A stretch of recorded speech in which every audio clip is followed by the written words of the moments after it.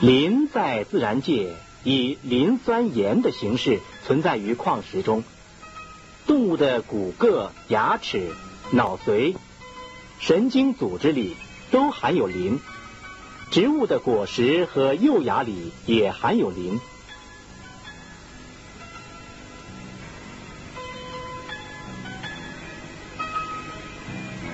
磷对于维持生物体正常的生理机能有重要的作用。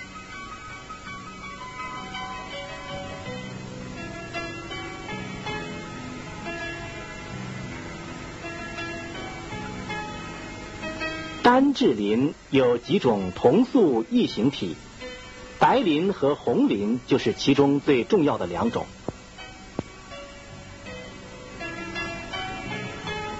白磷的化学性质很活泼，易被空气中的氧气氧化。当缓慢氧化到表面积聚的热量使温度达到摄氏四十度时，白磷会自燃。为了安全起见，常把少量白磷注于水中。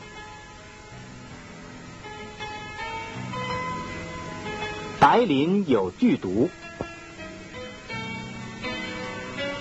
将红磷。加热到摄氏四百一十六度时升华，它的蒸汽冷却以后变成白磷。将少量的白磷和红磷隔开，放在铁片上，在红磷的下面加热，白磷先着火燃烧。红磷不易被空气中的氧气氧化，加热到摄氏二百四十度以上才能着火。红磷和白磷燃烧以后，都生成五氧化二磷，形成白烟。在军事上，用白磷来制造烟幕弹和燃烧弹。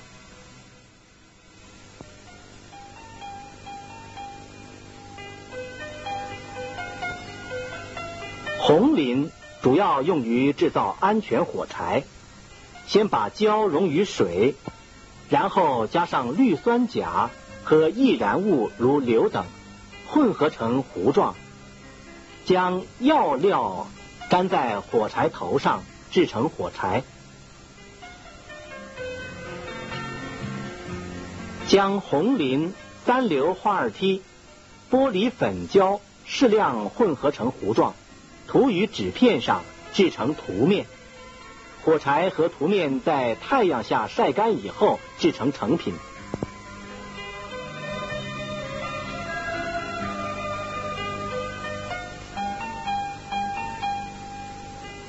当火柴头和火柴盒侧面摩擦时，因摩擦而产生的热，使跟氯酸钾接触的红磷发火，引起火柴头上的易燃物燃烧，使火柴杆着火。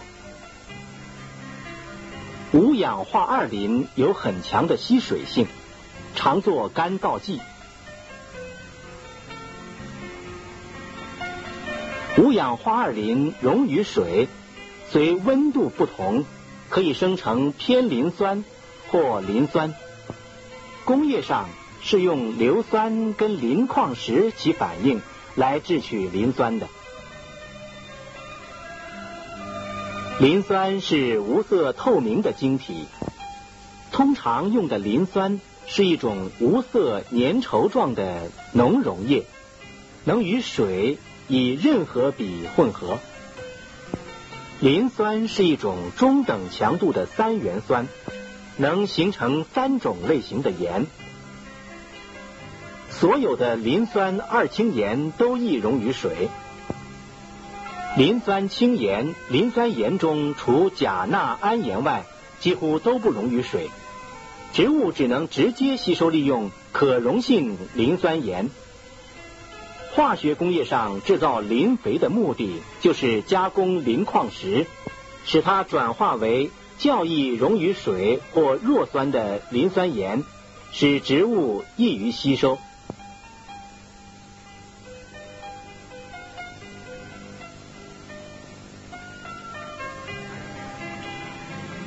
土钙和重钙最好跟农家肥混合后使用，减少磷肥跟土壤的直接接触。利用农家肥里的酸性物质，减弱磷肥变为不溶性磷酸盐的倾向。